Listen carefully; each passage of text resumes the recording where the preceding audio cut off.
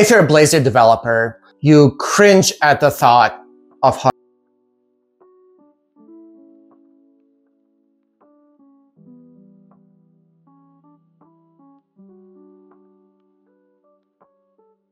I feel you. I've been working with Blazor professionally since 2020. You know, I've switched jobs twice since then, and I don't seem to be able to get away from it. And you know what? I don't hate it. Blazor is actually very chill experience, minus the hot reload, state management, and well, a few other things.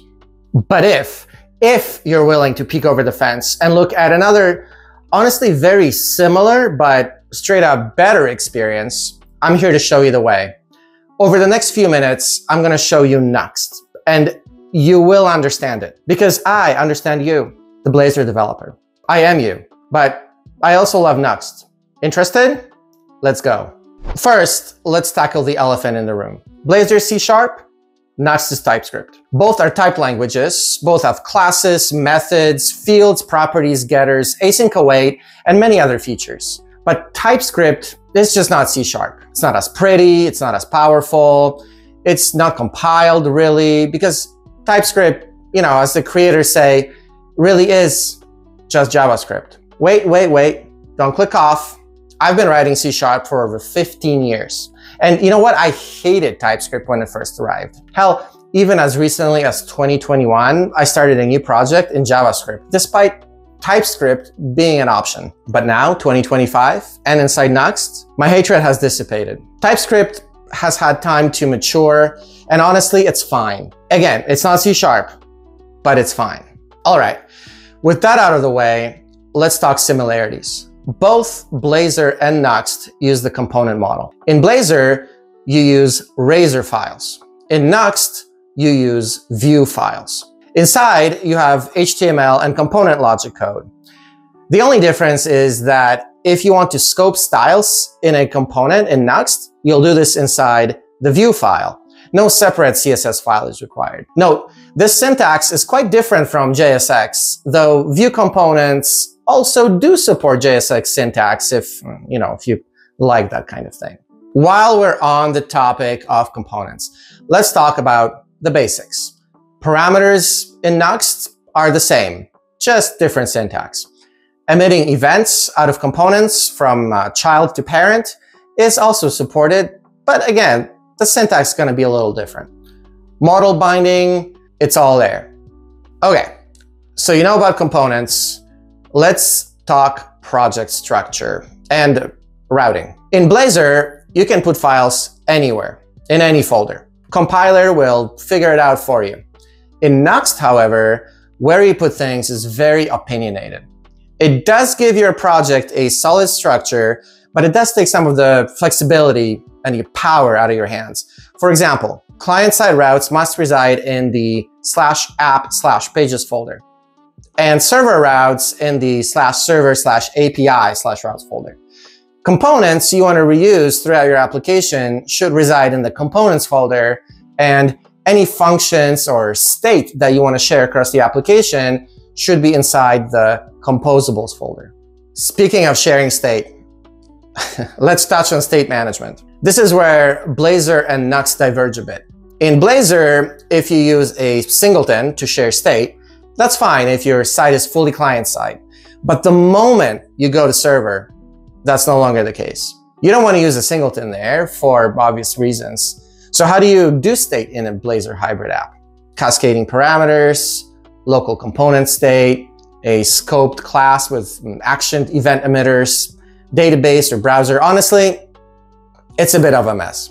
And for a while, Nuxt was also a bit of a mess, especially at the very beginning of Nuxt 3.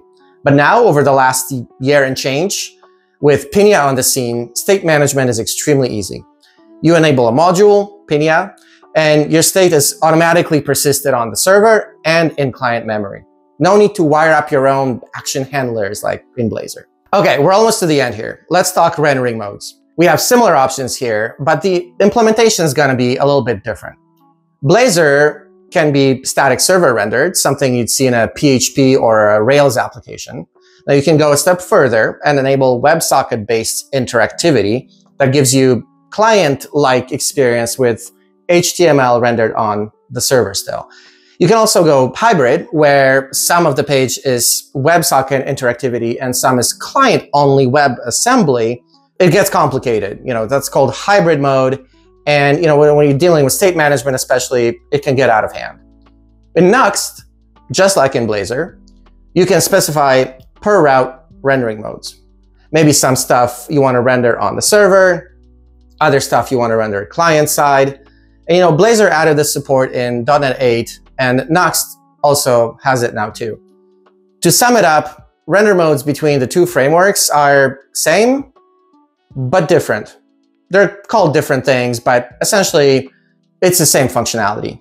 SSR and client side. Great, let's sprint to the finish with a few more quick ones. Ecosystem. So the Blazor ecosystem is, well, let's face it, one of its weak points. It's not awful by any means, but it's just not the level of Nuxt and more widely Vue's. Libraries like MudBlazor or uh, Fluent UI can be substituted uh, by various Vue UI libraries or Nuxt UI, which is very popular. There's no real direct comparison here, but suffice it to say, you'll never not find something that you need working with Nuxt. If you need to make HTTP client requests, there's UseFetch for that. Identity management can be done with plethora of third-party integrations or Nuxt auth utils. There are tons of excellent zero configuration modules you can integrate straight into Nuxt. I have a video with my favorite ones here if you're interested. But honestly, any JavaScript library can be used in Nuxt without needing to wrap it in interop code. This is a big W for Nuxt, or well, any JavaScript framework. Nuxt comes with tooling hosted by the server process right in the browser. Admittedly, I haven't found it super useful, but it does give you a good overview of the state of your application. The closest equivalent to this in Blazor would be watch and immediate windows in Visual Studio's debugger. Speaking of debugger, ah yes, let's just say debugging in Nuxt is gonna leave some scars. It's, it's hot garbage. I do hope they're working on making it easier to use and more stable. Uh, Blazor and honestly really anything in .NET has the best debugging game in town, hands down. I haven't found myself debugging all too often in Nuxt, but when I need to, it's like nails on a chalkboard. So just, you know, be prepared for that.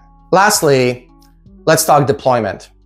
Blazor's preferred way is probably deploying to Azure. You can definitely host it in a container anywhere containers are supported. Uh, if you're building a client-side app with WebAssembly, you can also host that mm, you know, anywhere that static hosting is supported, like Cloudflare Pages. Surprise, I also have a video on that up here. Nuxt, on the other hand, has zero config deployment targets and supports lots of different providers. If you need to, you can also host it in a container, but these zero config providers are an insane time saver. I mean, look at this list of supported providers. If you've lasted this far into the video, thank you. It means a lot to me. Hopefully you've learned a few things about Nuxt. If you're thinking about trying it out, the learning curve is very small. The switch is mostly syntactical, like at on click becomes at click, at if becomes v-if, and so on. Thankfully, Nuxt has really, really good docs and a helpful community. Coming from C Sharp to TypeScript is a bit of a shift, but you know what? At least stuff is typed now. There are still classes, methods, fields, properties, getters, and so on, but it's a bit of a shift. Thankfully, the TypeScript team also has a great write-up for C-sharp devs wanting to learn TypeScript. I will leave a link for that in the description. There are some differences in how reactivity works.